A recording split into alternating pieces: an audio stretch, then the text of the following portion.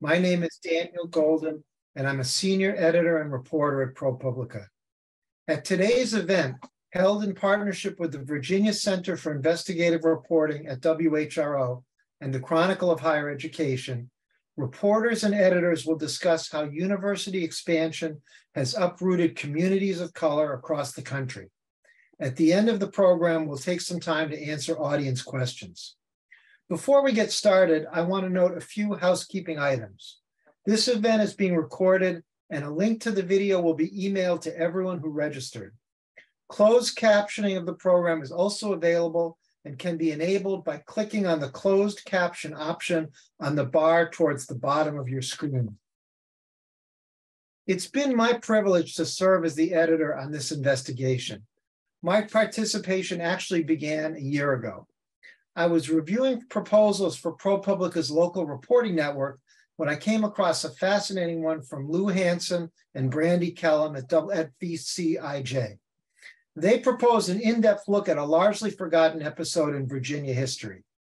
In the early 1960s, the then all-white City Council of Newport News, Virginia decided to establish a public college in the middle of a thriving Black middle class community, even though more suitable and less expensive locations were available. The city seized the core of that neighborhood by eminent domain, forcing families to leave the area. Over the ensuing decades, as the university expanded, it acquired almost all of the remaining homes. It struck me that this project was very relevant to political debates today about systemic racism and its impact on our society, and about how race relations in American history should be taught. And that what happened at Christopher Newport University and Newport News has likely been replicated at campuses across the country, suggesting that even universities, normally considered bastions of liberalism, bear a responsibility for Black land loss and lagging rates of Black home ownership. Partly at my urging, we greenlighted the project which I'm happy to say has resulted in several compelling articles and a documentary film. In response, a Virginia state representative has called for establishing a commission to investigate the issue, and other elected officials have started talking about potential redress for dislodged families, such as free tuition for their children.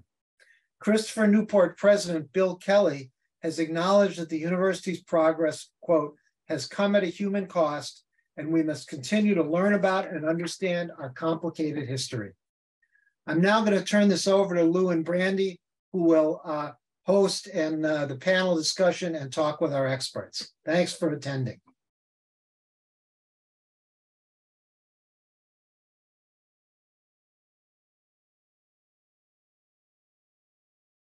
Hi, I'm Lou Hansen uh, co-founder and senior editor at the Virginia Center for Investigative Journalism at WHRO.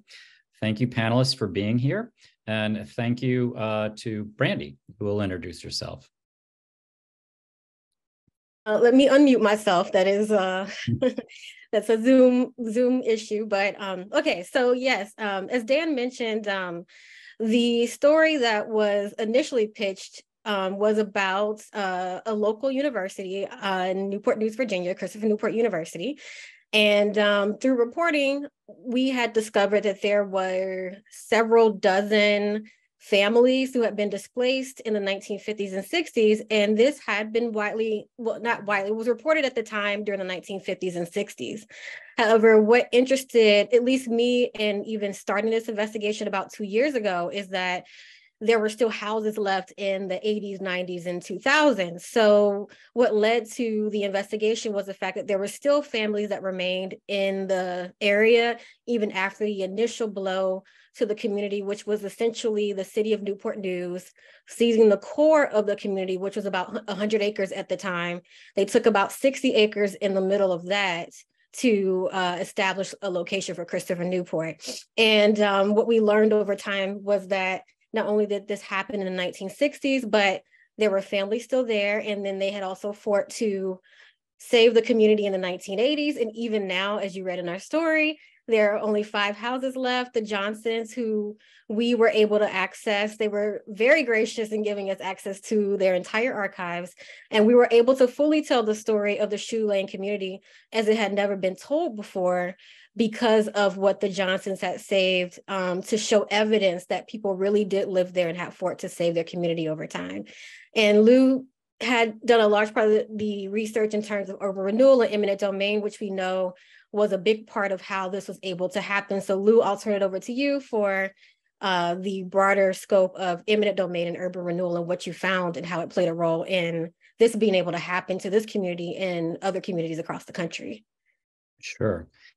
What interested me about this story is I, had been a ver- reporter in Virginia for nearly 20 years and written a lot of land use stories, property stories about new development coming and going. But when Brandi had this idea for a project, it was something that was a bigger scope. It was telling a bigger story um, through one family's eyes in Newport News.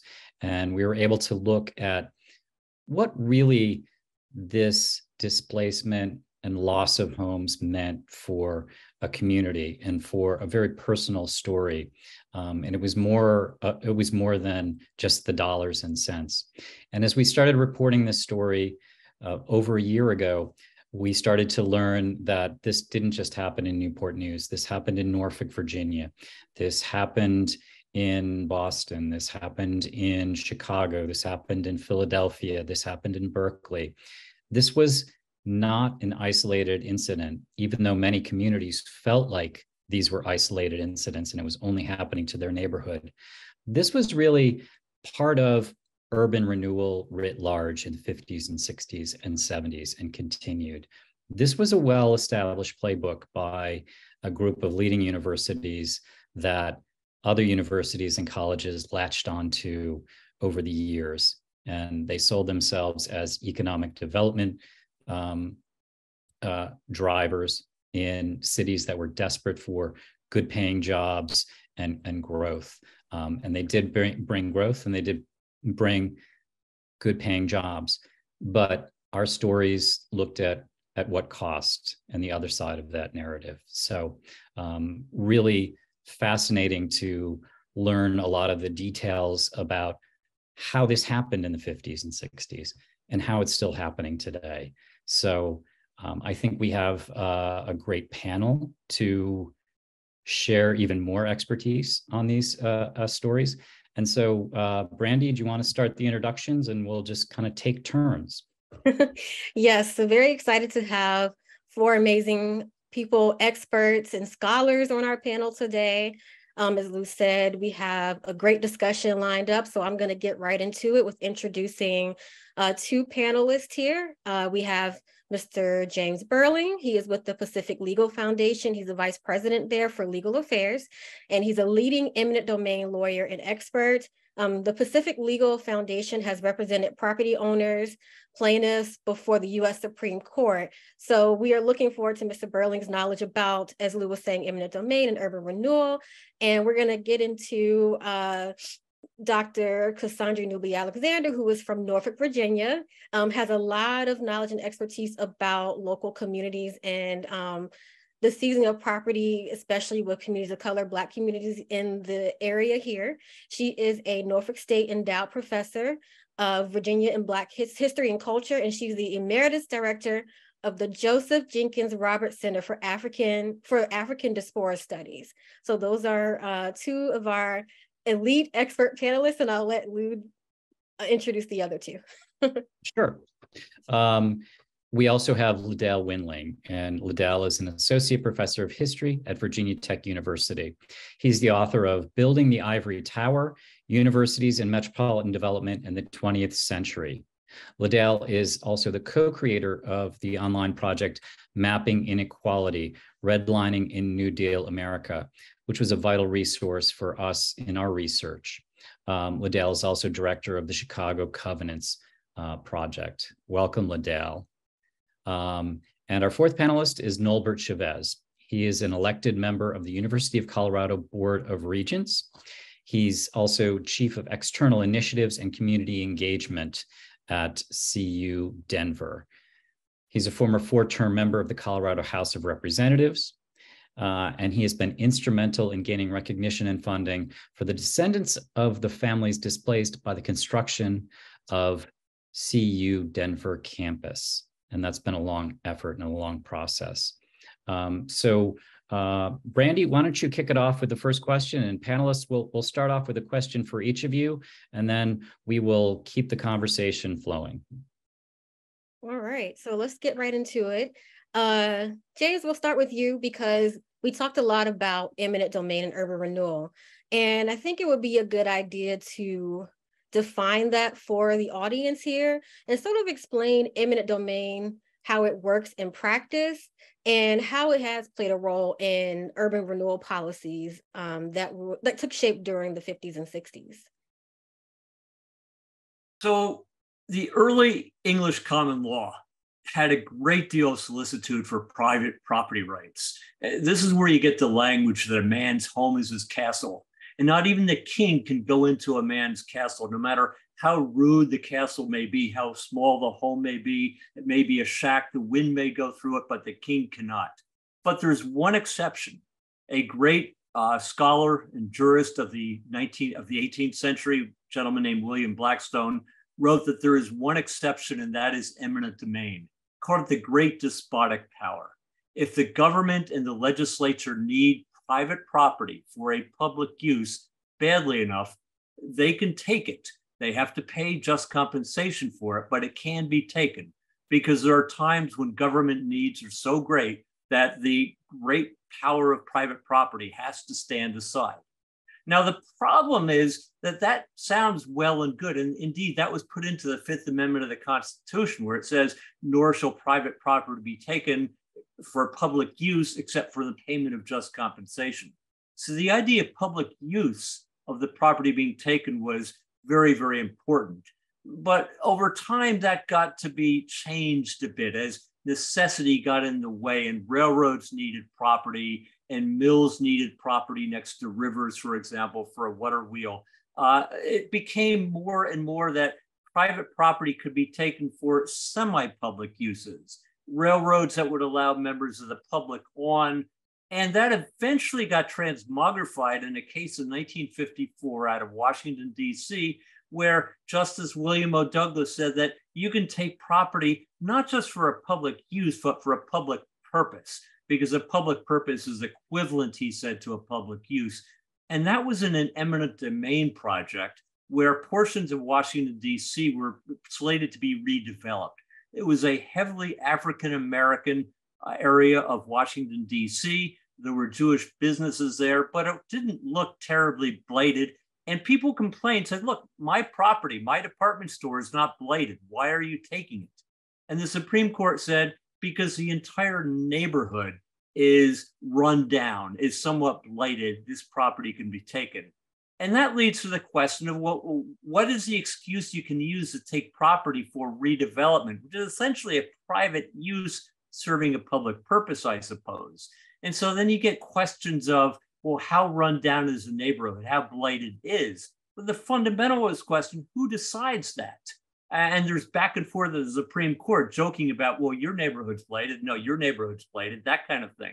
But the fact is, people that look like me would go into majority minority neighborhoods. And what they see was this not look like my neighborhood. This looks like a rundown neighborhood. Of course, it's blighted. The best thing is to, to save it is to destroy it. And so eminent domain has taken this long path down from a rather noble use to a really an excuse to get property for higher purposes of the moment, redevelopment. And if you're dealing with neighborhoods that uh, one isn't familiar with, then you think those neighborhoods are worth less than they should be. And that's how eminent domain has uh, spun its history in the last century or so.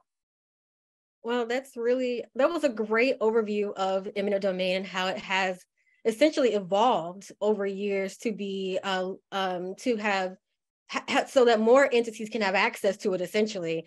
And um, that kind of leads me to LaDale, who has a lot of knowledge and experience and how colleges and universities have been able to utilize this tool. You know, our investigation centered on uh, one family in Newport News, and they lived there for over 80 years and lived through eminent domain and the um, the remnants of it. And uh, by way of making way for a college and university, I think most people, when they think eminent domain, don't think colleges and universities. So if you could explain to us how colleges are able to take advantages of that and how widespread it was for colleges and universities to do so. Um, sure. So first I'll say um, there is nothing special about a college or a university um, in the way that it relates to um, urban development or as uh, an economic economic driver in metropolitan regions. We certainly have this idea of an ivory tower and that there's something like separate or unurban about them, but it's not the case. For like the last 150 years at least, universities have been um, providing jobs and economic growth, just as, for example, factories would and hospitals do, sometimes now um, in conjunction with universities. And so we need to think of them as um, not a like special case, but right, like one that we should recognize is much like much like any of these other kind of urban urban development issues and urban institutions. Um, their specific work in taking advantage of urban renewal um, um, federal legislation um, comes out of the 1950s. Um, there's federal programs. There had been um, slum clearance and urban renewal legislation in the 1940s and the 1950s, and a number of universities, um, largely in large industrial cities, Chicago, Philadelphia, New York, Seattle, um, were concerned about kind of the transformation of their cities. One, um, essentially that there have been demographic changes, largely with the um, second wave of the Great Migration, um, but also after the kind of disinvestment of the Great Depression and of the um, of World War II, um, university leaders said, like, we're trying to educate the public. We're trying to um, make the world safe for democracy. We're trying to win the space race. And we're doing it in um, surrounded by neighborhoods that um, faculty don't want to live in, that students don't feel comfortable in. And they were overstating their, their case, but um, they kind of worked collectively to lobby um, federal legislators and um, presidents to um, pass and sign urban renewal legislation that basically incentivized and put them in the driver's seat that, that drove um, urban renewal money to cities if they kind of worked in favor of demolishing neighborhoods and um, parcels that um, that, that universities wanted to redevelop for campus expansion, for um, research centers, and so forth. Um, the University of Chicago was like the key leader of this, but basically um, any major research university took um, took advantage of this. And what has happened since then um, is that like these leading universities and leading administrators, like they share information someone um, like starts work as uh, an administrator at like say the University of Pennsylvania, and then later on they get a better job, more powerful job across the street at Drexel University, and they employ many of the same kind of redevelopment strategies um, that they did at, at places like Penn. And so what we see is this um, information being shared um, through institutions like the American Council on Education, the Association of American Universities, um, and we see these practices, not just how to get research funds um, or how to educate undergraduates, but how to take land, how to redevelop, how to um, employ kind of like um, financial techniques in order to kind of um, expand um, throughout the city, the host city. Yeah. You know, one of the things that I found fascinating about your your work, LaDale, and also should mention uh, your colleague Rob Nelson at the University of Richmond, who also did a lot of work on this. In just one federal program between 1959 and 1965, um, 20,000 families across the U.S. were disrupted by university and college expansions. 8,000 of those families were, were um, were Black or Hispanic. So overrepresentation of, of minority communities being displaced by these college expansions. Um, and there really was a playbook that was going on in the early 50s and uh, the 50s and 60s. Um, you know, uh, Dr. Newby-Alexander, I, would like to um, to ask you a little bit about when colleges and universities were were coming at this time to expand and looking for for land and property. Um, often they were coming into black neighborhoods, as we saw in Newport News, as we saw in Norfolk, Virginia. Um, what was the power structure like for Black families in the 50s and 60s? What was the effect of these fights on those families and those communities? Thank you so much. You know, one of the things that we have to do is put the 1950s and 60s into the context of what was happening in America. Uh, the 1954 Brown versus Board of Education decision, for example, really put the framework of how governments were going to respond, especially governments that were directly impacted by that decision. And for the most part, it was in the South, Midwest, um, where the majority of those cities and counties would be impacted. So we would see a huge movement, for example, of counties that were suddenly starting to consolidate into cities uh, to provide the separation um, because they, you know, in Virginia, of course, they incorporated counties. And so you would have uh, a city and all of the uh, uh, all, all of the the students would go to that particular city's schools.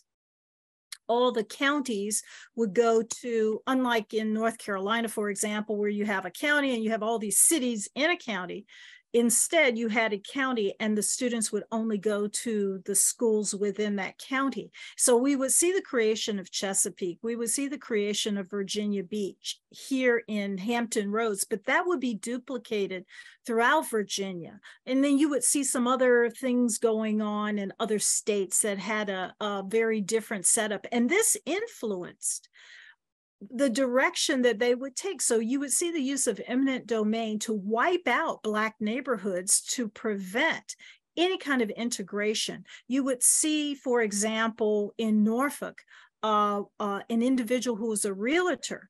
Uh, this was a Black realtor, and he wanted to create middle class Black neighborhoods um, in the way that government was funding uh, middle class white neighborhoods and suburbs. He was doing this with his own dollars and the and a consortium of other investors. And the city stopped him uh, using the threat of eminent domain and paying him literally pennies on the dollar if he did not sell for a much lower price than what he actually was planning on on getting as he developed that property.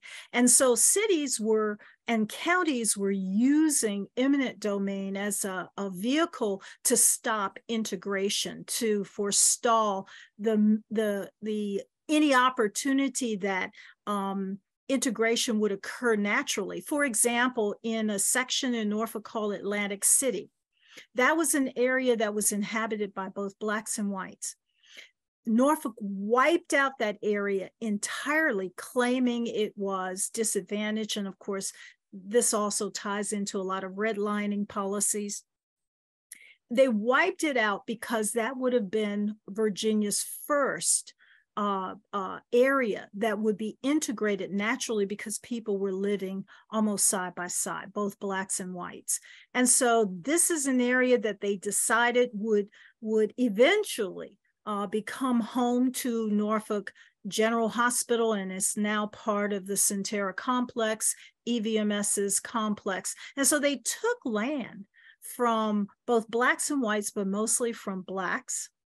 And that, that land then was given to these other institutions to grow and develop, and African Americans were essentially paid pennies on the dollar for their land. So we would see this kind of process um, uh, being used in the 50s and then in the 60s as well. Always a fear uh, to to accompany the fight of school integration. But you would also see this, this I guess, effort on the part of a lot of cities to simply erase Blacks from the landscape. So in Virginia Beach, for example, areas that used to be Princess Anne County, where you had a high number of African Americans who were owning property. Um, Virginia Beach would pass laws saying that the owner, the landowner, had to improve their property, had to pay for water and sewage to be brought into their property in order either to renovate their property, build on it, or expand. And of course, that uh, price was too high for them to pay. So a lot of African Americans sold their property because they simply could not do anything with the current property as it existed. Yeah, so we see a lot of different avenues for for cities and counties to force Black families, communities into certain places or to force them out altogether. It was usually to force them out of places. And this also mm-hmm. accompanied uh, the laws that or, that were passed beginning in in the 1930s um, to restrict basically blacks to the inner cities uh, as whites uh, were able to get property in suburban communities. Sure. Well, I want to get Nolbert involved in the conversation too. And, and uh, Nolbert, you have a really interesting story. Um, and can you tell us a little bit about where the uh, University of Colorado at Denver was was situated and uh, the Aurarian community um, that was once a thriving place. Um, what is it now? Tell us that story. So, so the Auraria redevelopment project is is very similar to to ones you've heard of uh, already, uh, except that it, it, happened in Denver and it happened to a, a, a largely Latino neighborhood.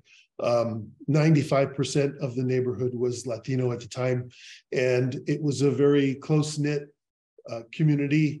Um, the city had done its best to um, discourage folks from living there and trying to get folks to move out by uh, zoning the the entire neighborhood is industrial. So anytime anything would happen to uh, one of the residences, they couldn't rebuild uh, which is also part of the game, uh, the gamesmanship uh, that is associated with paying uh, fair market uh, when when a, a, community is displaced and it's out of all the homes are are not properly zoned, they're worth less, and therefore the the city or the government has to pay less for those folks who are forced to leave. but they were uh, th- there were 343 families, uh, 900 people. The largest displacement in the city's history uh, occurred in order to create the Auraria campus, which is home to three institutions the Community College of Denver, Metropolitan State University of Denver, and the University of Colorado at Denver. And, and at the time, promises were made to the to the neighbors in the community that that their children and grandchildren would be able to go to school uh, for free. And, and then over the uh, subsequent years, those promises were, were largely unkept. They, they, all three institutions used every uh, you know barrier they could think of to to uh, to get folks not to to, to uh, try and and avail themselves of that scholarship and and so in uh, 20 20, November of 2020, um, the University of Colorado, uh, Denver, Metropolitan State, and the Community College of Denver, we all got together and extended that scholarship in perpetuity. And, and we did so, um, number one, to fulfill the promise that was made uh, to, to, the, to the neighbors and, and to try and um, go from truth telling the truth to to reconciliation. And and that really is the is is where we're headed. And and and that's the work that that I do on a daily basis. It's also this the subject of of my uh, doctoral dissertation on on how universities can and should uh, reconcile with with communities that are affected. And and since then, we went to the state legislature and and got two million dollars um, of scholarship money because, frankly, the state was um, was responsible for the displacement as well. Everyone was was really responsible. The federal government through through uh, through HUD and and uh, and the city, uh, the church, the courts, and and ultimately the state. So um, our first step was going to the legislature for for help with that scholarship fund, and um, and we'll continue to do so at the city level and and and anywhere else where uh, those responsible should be held to account. Nolbert, that's an incredible story. And in my reporting and looking at other communities that have been displaced, I was unable to find any more recognition than beyond, I think, uh, maybe plaques and letters of commendation for displaced communities. So the fact that you uh, were able to get $2 million in scholarships for displaced families um, is an incredible feat. Well, you know, it, thank you. It, it, it was uh, it was a lot of work, and we all came together to do it. All the community and all three institutions. But it did help that I uh, had served in the legislature, and knew how the process worked, and and uh, was able to to to lead us uh, to to that uh, that eventuality. But but there's actually more than more than that because um, one of the other panelists was talking about the five remaining homes we actually have 13 homes that were saved at that time in the in the 70s by historic Denver, uh, and they went to the city and they said, you know, we want to save something of this neighborhood, and and the city said, sure, uh, as long as you do all the work and raise all the money, you can do that, and and so they did, and they they took one single block, and I'm sitting in one of the houses that was saved. Um, and and and and today we have uh, a park, uh, Ninth Street Historic Park, with 13 homes. Uh, now, they've not been well maintained, and for the last 50 years, it's been sort of um, benign neglect. And, and, so, one of the other things that we've done is is to invest um, our resources and private fundraising to restore and honor the sacrifice that was made by those families and, and to invest in it in a way that folks can see and reconnect and visit and, and remember uh, what they what they had. And so the, those 13 homes, we're, we're lucky to have that um, because in most other instances, there's really nothing left. Well, that's um that's a that's a great segue uh into a question that um we'll we got we're gonna get into some questions that were um submitted, but um and that was me that mentioned the five homes left. Um, by the way, there are five homes left in Newport News uh that in this area in Newport News that were uh, of this largely Black community that um, essentially the name of our story is Erasing the Black Spot um, and essentially were erased um, because of the expansion of uh, the uh, university there, which is actually going to get into a question that um, we quite saw often that was submitted in some of the pre-questions sent to us, which was how was this able to happen? And I know we get into a, we got into a little bit of eminent domain and the tools that were used, but I would love for someone or a few people on the panel to kind of illuminate this aspect of power we eh, Dr. Newby Alexander, you talked about power structure a little bit earlier in these communities who um, were up against more um, rigid policy that was established and um, widely used during the 50s and 60s urban renewal. And so I love for um, you all to talk about the power structure in terms of who benefited from what type of uh, people or entities benefited from this the most and how were they able to do this um, during that time period um, given what we know about that time period we know that it was as you said dr newby alexander a highly segregated um, time period in the country but beyond that um, how was this able to become so widespread given the power dynamics of that time and who paid who mainly paid for this I would like to jump in very quickly. Uh, I'm sorry, James, did you want to say something first? No, no, you go right ahead. Um, it really wasn't until the 1960s that you would begin to see African Americans being either appointed to the planning commissions or um, in the later latter part of the 1960s, and I'm talking about here in Virginia or in the South in general, um, or or winning elections. And it was usually only one African American either getting appointed or winning an election on the city council. So for the most part, these decisions of urban renewal, which way the railroads would go, what land they would take over, wh- where would the interstates be placed, all of these decisions were made exclusively by whites. And even when you had a few African Americans either on city council or in the state legislature, it would be the bureaucrats who are all white who would make those decisions as to the routes that would be taken, whose land would be taken. And they were still using, and it's interesting that the Army Corps of Engineers still uses these old um, very racist ways of evaluating someone's property value based on what realtors, which are almost exclusively white, what they would determine is the value of property. And so you still have these, these very old policies and templates that are, are really the um, wedded in a lot of racist uh, thought and evaluations uh, being used today by and in the past by officials when they're making decisions about how to uh, take what property to take, how to take it.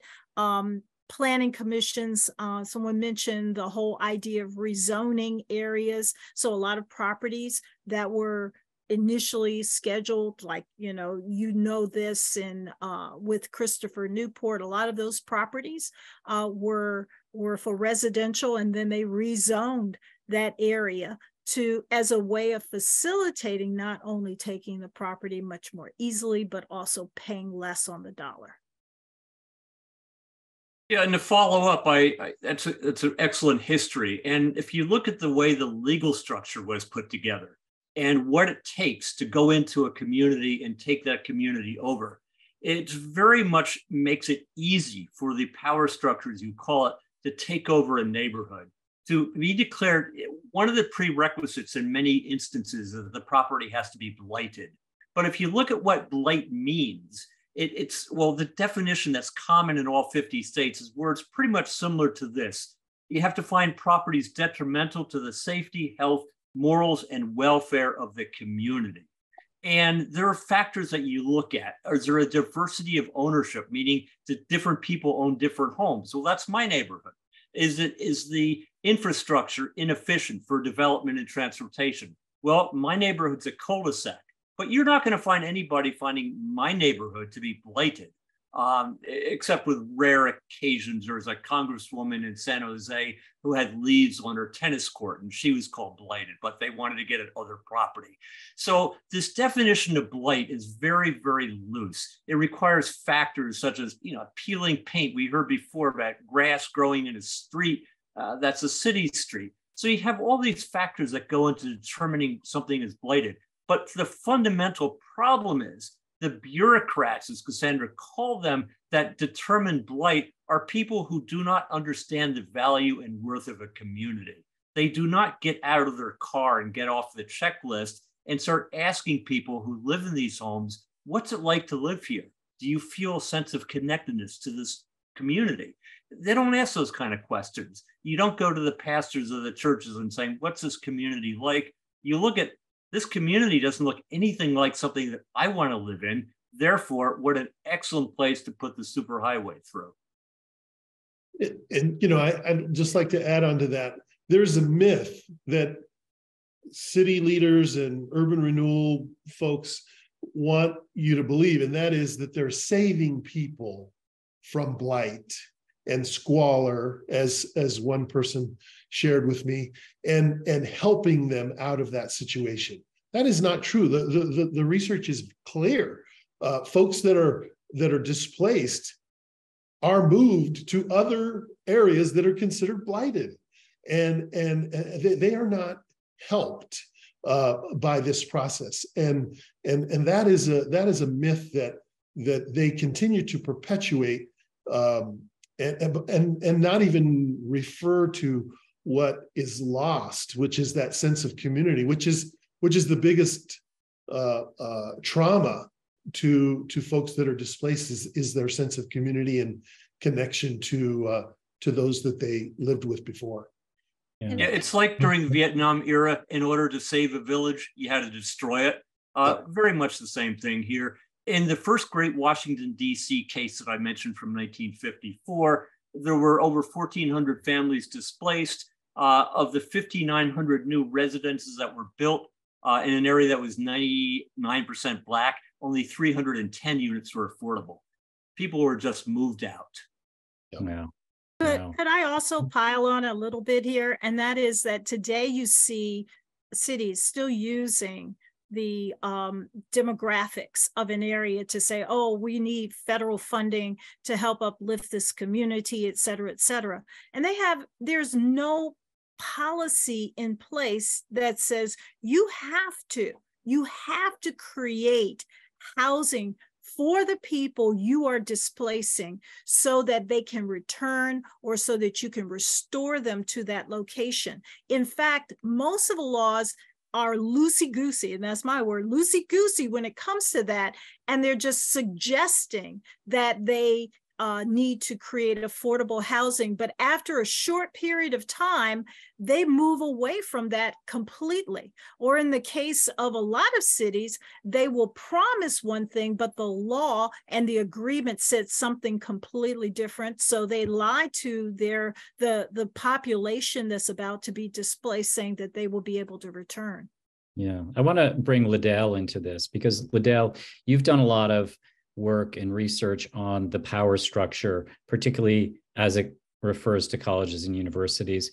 Can you talk a little bit about how colleges and universities align themselves with realtors, with the business community to really um, have their, uh, to reach their goals, their um, of expansion?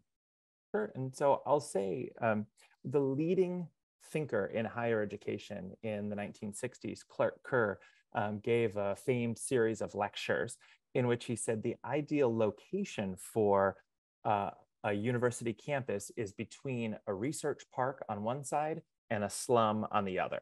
And he said the faculty will consult in the research park and the students will live in the slums. And it, he kind of, he says it tongue in cheek, really just kind of half joking. Universities um, are like dedicated to expansion, right? Like all of the leading corporations from a century ago are transformed or swallowed up or gone or bankrupt. And we have the very same leading universities that are bigger and wealthier than ever. They're dedicated to growth, now even international growth. And as a result, like that expansion has to happen somewhere, right? And so universities, in fact, kind of like slums and deterioration, they even, in many cases, create it. And one of the ways that they do it is through the threat of eminent domain, whether in the case of the University of California, where um, the university itself had powers of eminent domain, it would um, it would say, here are the neighborhoods that are, are the blocks that we're going to take in five years and in 10 years. And in fact, it created um, worse, blighted, and slum like conditions because no one would invest in like rehabilitation of their property and it would only be um, exploitation of the property because they knew that the neighborhood had no future other than being taken by the university in places like Chicago and in Boston, um, universities would buy property and hold on to it. They would, um, in Chicago, um, with the um, Daley administration, the University of Chicago and the Illinois Institute of Technology um, developed an agreement where code enforcement would be um, reduced, basically because they said, we want to be able to, we want people to move out. And so it's less of a fight, right? When universities expand, either they expand into expensive, politically power neighborhoods on one side, or they move into um, poorer or less politically powerful neighborhoods on the other side, right? Like, which do you think that's going to be? It's always the least politically empowered and the least wealthy neighborhoods, which um, are largely um, neighborhoods of color and neighborhoods of um, with less political representation. Um, and so the kind of systemic nature and the kind of ongoing legacy of racial uh, discrimination and racial inequality plays out in real estate. Um, and then I would also say to the specific point about your question, like look at any board of regents or board of trustees or board of visitors in the country, and you will see a major real estate developer on the board or as a major benefactor of the institution. And you will also see like ongoing kind of real estate development um, activities with university foundations, for example, um, or these kind of public private partnerships. Like it's baked into the system um, that there is a kind of exploitative relationship in the nature of university expansion. You know, there's one other thing to include in that too, and that's the incentive, at least in in our case and in many others, of federal funding. Right? You can choose. There, in our case, there were 19 sites that were considered for um, a campus well, why wouldn't you pick the site that brings 13 at that time, 13 million dollars of federal funds, as opposed to another site where the city would have to pay, or the state would have to pay the entire the entire amount. So, uh, and then you couple that with the the lax rules that went along with the local match to to to allow them to uh, to claim that things that they were already doing counted toward the match. So it further put the put the bill uh, on the on on the fed, federal government and and allowed uh, allowed them to steer it towards communities of color. That's a that's a, actually a great segue to a question I had for you, Nolbert, about the work that you are doing. And um, you said earlier that you're literally sitting in a house, right? That was uh, that was essentially saved. Um, one of the things that I found the most interesting in the reporting that um, was done in Newport News is that uh, when the city council described, or when people who were very prominent during that time, we talked about power structures, um, were describing the neighborhood from the outside looking in.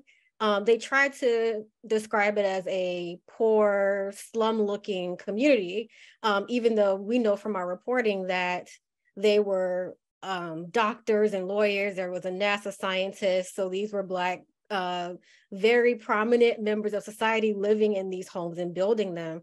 And I wanted to ask you, based on your experience talking to some of the families, because we we I also talked to the families in Newport News, and we talked about uh, what they essentially felt like was lost was the destruction of their community and the opportunity to continue to build those middle class homes. You seem to be able have been able to at least uh, preserve some of the homes, but I would love for you to speak to um, the now aspect of this, based on how they were, um, what was what happened to the community and the cultural and financial loss and how the people who you're speaking to now in the community feel about that and um, essentially what they feel like was lost um, based on their personal experiences. Great question. There, there was a about, about a year ago, History Colorado um, came to the campus and invited uh, descendants um, who had been been displaced, whose families had been displaced, to come and talk about it, it, was called the Museum of Memories, where, where they were invited to come and talk about what they remember about it so that that could be saved uh, for historical purposes. And the, the families themselves called it the reunion.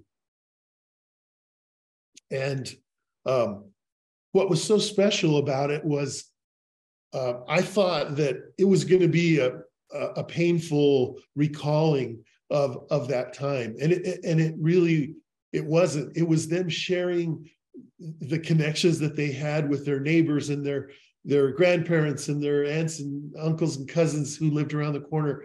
It was the commun the sense of community, that camaraderie that that they lost. Uh, they were all dispersed all over the city and, and they lost that. And, and that's the thing that they wanted the most. And, and you can see behind me uh, a painting of, of a church. That church was saved. Um, it's not a church anymore, it's an event center, but it's still on the campus. And uh, that's where the event was held.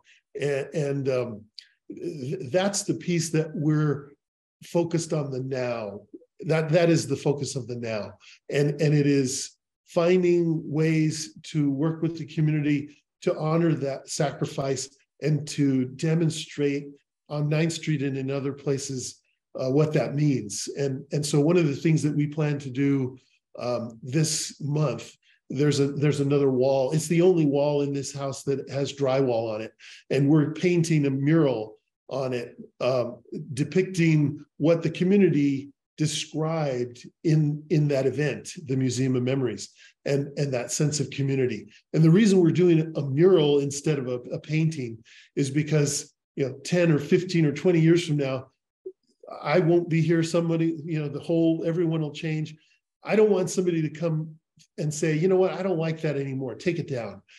I i want people to say you're going to have to paint over it to get rid of it it's as much permanence as we can get, but uh, it, it's going to be violent. Right? That act of getting rid of that image is going to be a violent act instead of simply taking down a painting. So we want to make sure that uh, we do what we do lasts another 50 years and and uh, stands the test of time. Well, thank you so much for sharing that. And um, it it uh, leads to a question to Dr. Newby Alexander, since you have done a lot with history, and you know Nolbert described the preserving of stories. Can you talk about how storytelling plays a big role in um, understanding the history of what happened? The stories that we tell now play a big role in understanding the history of what happened before.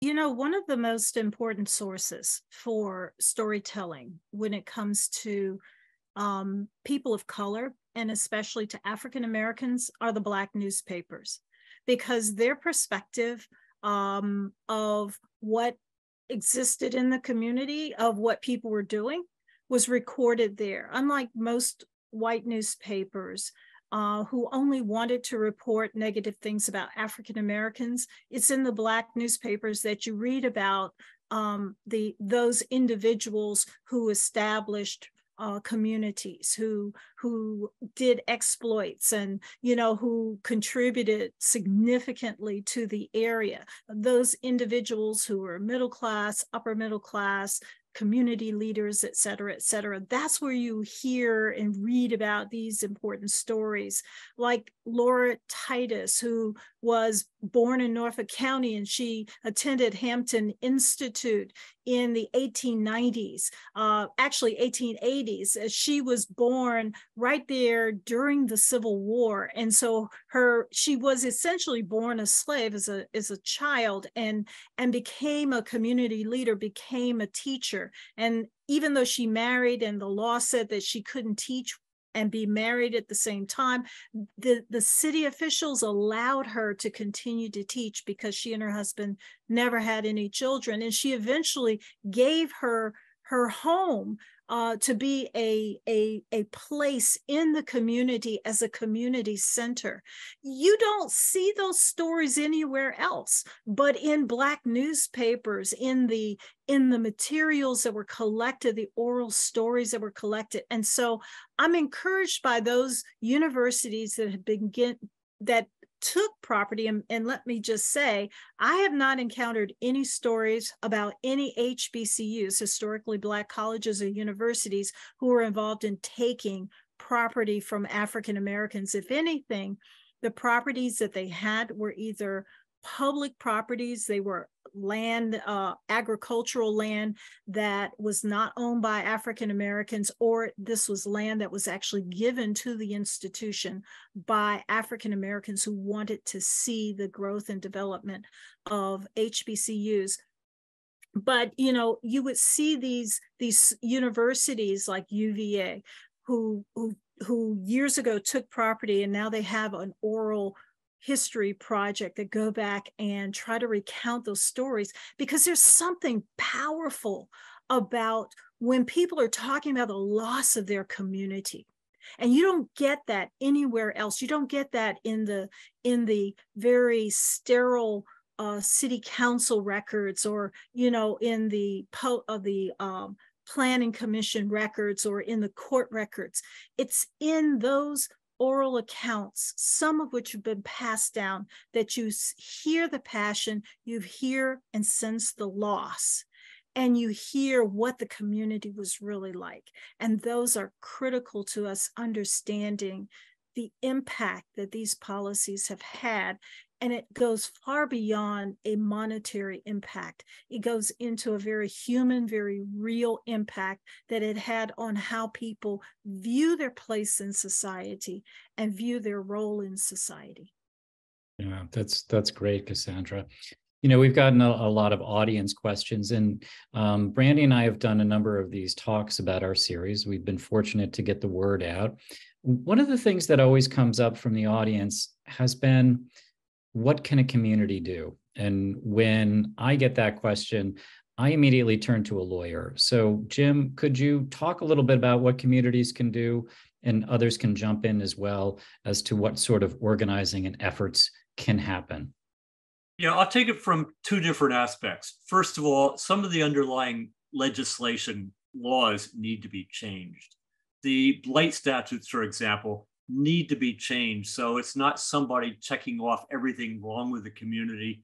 There has to be a way of putting in what is right about a community before it's declared blighted, before a blight study is put onto the public in a public hearing when it's too late. And then the second part of this equation is the community, when it is faced with a blight, can get together and must get together and fight it every way they can. You can get attorneys that can help for very little cost sometimes if it's a just cause.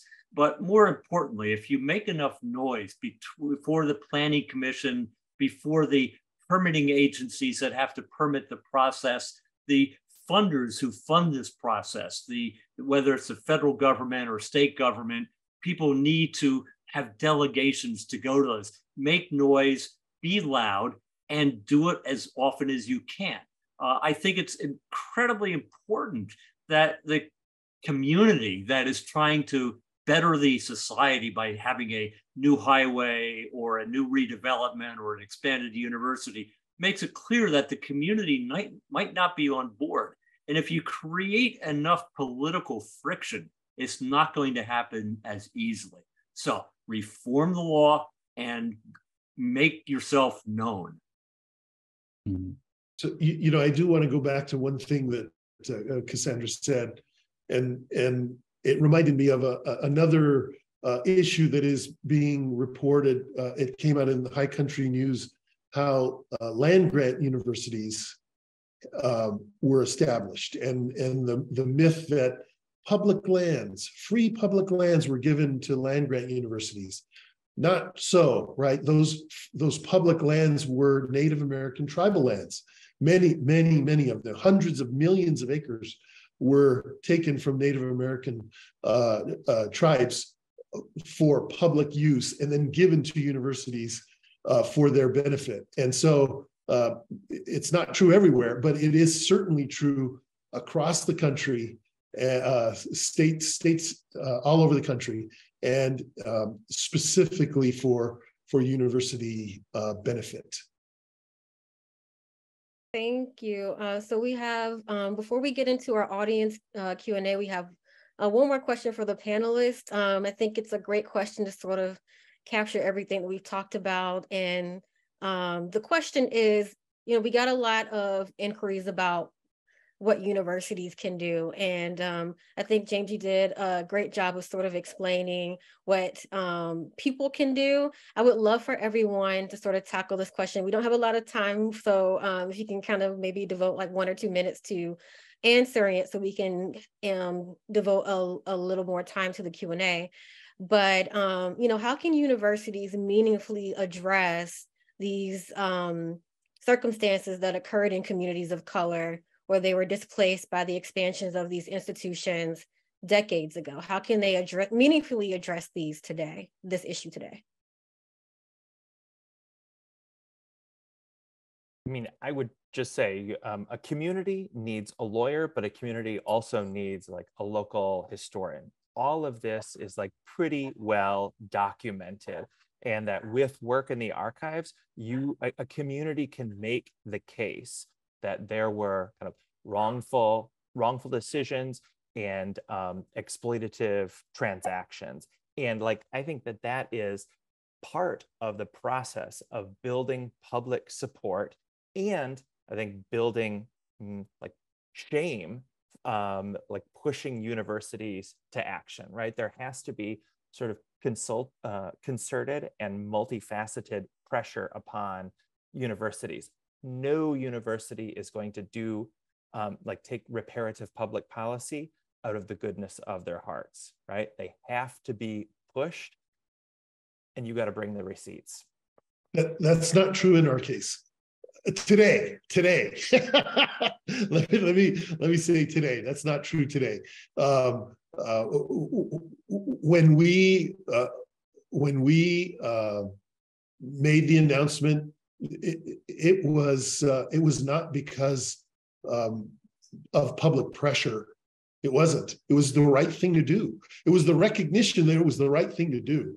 And and it took folks at the highest levels uh, of the university to recognize that before it happened, certainly, but um, but it, it didn't happen like that in in our case. Um, I, I, think in in cases like that, you get the least uh, amount back, right? They'll do the they'll do just enough to shut you up, uh, as opposed to the most that they can do. And and so for in our for our uh, case, we did the most we could do to begin with the most we could do is free tuition for their in perpetuity, right? Uh, and and and and we'll figure it out uh, as we go. But um, in in in other communities where that isn't the case, where you don't have advocates uh, at the highest levels, then then you have to have a different approach. You do have to have a different approach. You know, I'll, jump in and and um, in thinking about reparative justice, I think a lot of these universities need to think about the image that they're projecting. Um, if you've taken land from people, you've erased their presence. Um, what what are you who are you representing on these campuses? What images are you projecting? Are you projecting an image that says that these people never existed here? Um, and I'm not talking about a little monument here or there or a little plaque someplace. That to me is insulting. Um, but you know, if I if I go on campus, whose images am I seeing on that campus? Who's being represented? Who's being welcomed into that campus? Because yes, it's fine to have scholarships, but I went to a predominantly white institution, and I can tell you that I was not welcomed. I got called the N word all the time. Yes, it was a long time ago, but I've heard that things like that still exist today.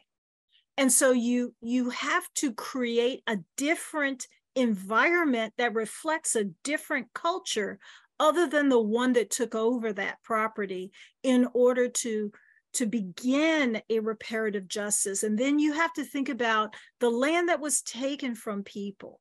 You know, where where is now the inheritable wealth for that family?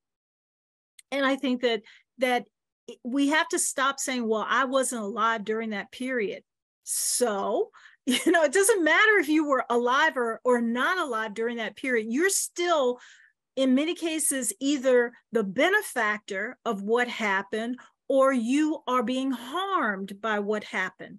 And so, in order to stop this cycle, we have to shift and, and really engage in some reparative justice when it comes to how do we restore what was lost? how you know and i'm not talking about tear down the university to give the land back but i'm saying that you destroyed a community. How do you restore that community and that sense of of together and belonging? And, and instead of saying well you know i washed my hands of it because it was in the past. And so i think that that we definitely need to push that conversation in that direction and then begin to work out a plan for how do we restore what was taken and lost so that that there can be a repairing. And you also need to set up a plan for fixing the law so it doesn't happen in the future.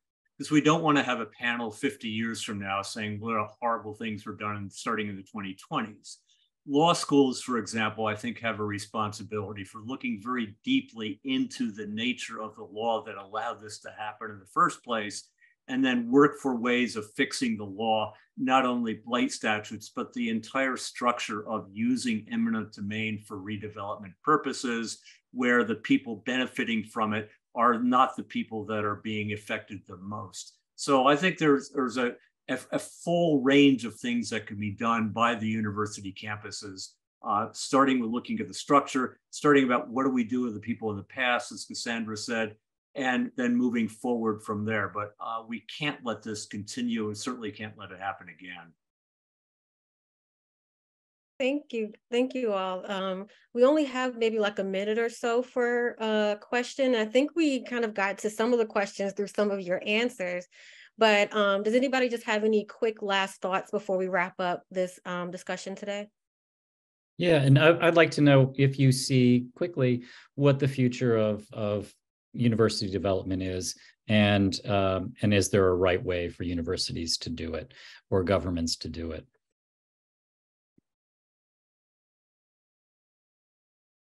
That's a good question in a minute, you can't possibly answer that question. It would take days to get at that question right. But I think, if nothing else, now is the time to start looking into it and exploring all possibilities. And, and I would just say having this conversation, I think, is very valuable. It, it it's not it's not common to have this kind of kind of conversation, and and it ha- has to happen um, uh, uh, in a more widespread way, and and folks need to hear it all the variations of it. Um, and, and and that's how we get to to reconciliation. Yeah. I would say that um, the the recognition, the increasing recognition that this is, as you said at the outset, not simply an isolated case, but in fact that there's widespread um, and and shared strategies among universities, I think can help communities kind of organize and develop you know, more effective uh, conversations with universities. And um, a book I always recommend, Davarian Baldwin's In the Shadow of the Ivory Tower, mm-hmm. um, kind of works through kind of recent cases of university expansion and the kind of relationship um, between universities and their lo- local communities. Like we look to universities for a wide array of public benefits, individual development, like regional, national economic development. Um, but that is that cost is always borne by the communities immediately around, right? The benefits are widespread, and the people who are in opposition and who bear the cost of that growth, that expansion, are the neighborhoods right around. As I think recognizing that can help um, shift the balance of power in these kind of community negotiations.